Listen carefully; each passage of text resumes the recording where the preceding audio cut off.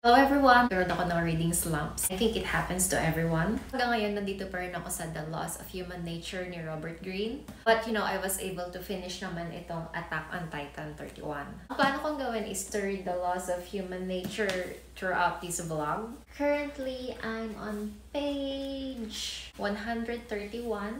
Nasa chapter 5 pa lang ako. Meron pa akong another book na binabasa, yung Palace of Treason ni Jason Matthews. If familiar kayo dun sa Red Sparrow, iyon yung first book o sa isang Russian spy na nagkaroon siya ng emotional involvement, intimate relationship dun sa isang American intelligence. Kaya ang nangyari, bumaliktad siya. Gamit ko ng Kindle Paperwhite is last November pa. Binili ko to ng June, tapos sinulit ko, excited magbasa. Pero ang tagal na stock. Pero okay lang, buhay pa rin yung Kindle Paperwhite and still kicking. Kasi ako nakapang-workout is because I'm just waiting for the time to pass dahil ngayon ay 3pm kainitan, ayaw ko mag-workout kaagad, baka ma-high blood ako, kahit low blood ako.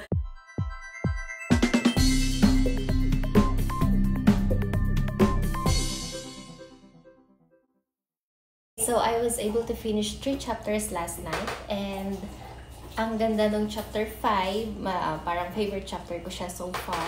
Create an object of desire. So, kailangan hindi ka masyadong available. Para mas maging interesting ka. Chapter 6 is yung elevate your perspective. Huwag kang masyadong mag-focus sa kung anong meron ngayon. Kailangan iniisip mo rin yung past and yung future because it is all interconnected. Malapit na ulit ako sa 200 page mark. Kaya, ayun, very excited. Hopefully matapos ko tong The Loss of Human Nature soon. Ang sakit ng ulo ko. Ang haba ng binasa ko, hindi na ako sanay magbasa.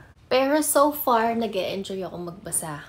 Disciple talaga ako ni Robert Greene. Science is distracting me. Meron ng season 5 yung Van Helsing. Vampires. Mama, vampire ka. Ano vampire? Mama, So, ayun. So, ayun, ayun, ayun.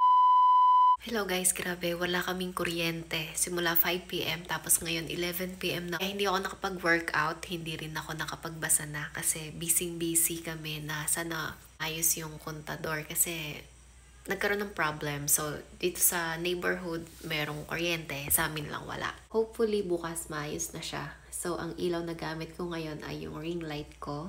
Sorry ko nakakasilaw pero yan yung ring light tapos nakakonect lang siya sa power bank para may ilaw. And then grabe inaatake ako ng migraine pero hindi pa rin ako makatulog. Hindi medyo na-addict kasi ako sa mobile game. Pang matandang mobile game, hindi yung mga mobile legends. Hindi ako marunong nun. Hinahanap talaga siya ng mata ko tsaka ng aking brain, ng dopamine. Kukunin ko ngayon yung aking medicine. Ayun, light. And I have my flashlight here. Nasaan ba yun? So, ayan yung mga medicine. Medyo magulo siya. Ito.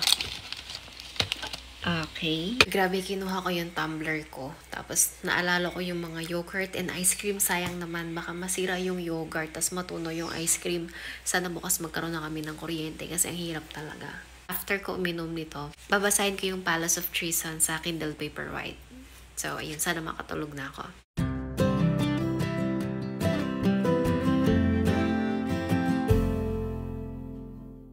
I'm gonna end this video vlog. Unfortunately, hindi ko natapos yung The Loss of Human Nature, pati yung Palace of Treason kasi, ewan ko, hindi ko siya natapos eh. Medyo busy ako. Ang dami kong ibang priorities. Nakarating na ako sa 200 page mark ng The Loss of Human Nature and I really love it. Sad to say, hindi ko siya natapos. Siguro this August, pupush through ko pa rin siya. Ang liit ng attention span ko, siguro kaka-gadget, kaka-games. Parang mas gusto ko na mag palipat-lipat ng basa ng libro kaysa yung mag-stick lang ako sa one book. Anyway, yung sa Palace of Treason naman is, I think nasa chapter 5 na ako. Hindi ko na rin siya nabuksan kasi meron kaming bagong binabasang book ni Zion.